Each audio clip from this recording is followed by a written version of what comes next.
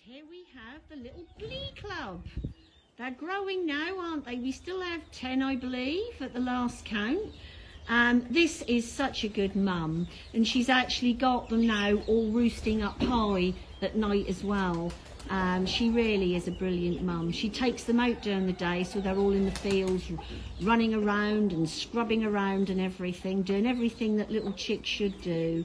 But aren't they absolutely beautiful? They really, really are. Healthy, happy, free little chicks.